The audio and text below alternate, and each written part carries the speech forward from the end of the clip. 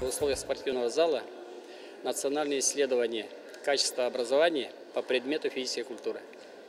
Проект этот НИКа, кратко НИКа называется, значит, э, реализуется 2014 года по другим предметам. А в этом году на базе вот, 31 школы, область номер 31, руководитель Валентина Юрьевна, это тестирование. В содержательном аспекте она включает четыре блока. Это блок э, спортивных игр, где включены баскетбол, футбол, волейбол, пионербол. Дети сами выбирают из этих спортивных игр любой вид и выполняют задание, практическое задание. Следующий блок – это общая физическая подготовка. То же самое там на выбор 5 элементов общей физической подготовки, из них 3 они выбирают. И э, следующий блок – гимнастика. Там тоже элементы, акробатические элементы из области гимнастики – то же самое выбирают и выполняют э, практическое задание. Проходим этап э, анкетирования.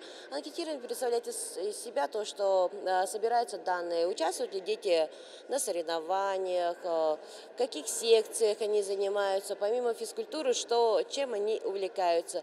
И также там некоторые есть вопросы уже более личного характера о будущем ребенка, какую он профессию хочет выбрать как бы и все. Они очень легкие и не представляют себе никакой сложности. Дети не испытывают затруднений. Будет задействован в этом исследовании, выбирает Министерство образования Российской Федерации, просвещения. И э, в этом году по предмету физической культуры попали шестые классы. Это где-то 240 с лишним детей вот сегодня будут проходить вот это исследование. Национальное качество проверяет не качество обучения детей, только качество обучения, не количество там прочее, а качество исследований.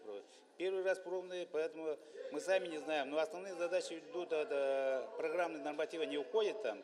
Четыре вида раздела, там спортивная игра, гимнастика, ОФП и ГУТО, норматив ГУТО.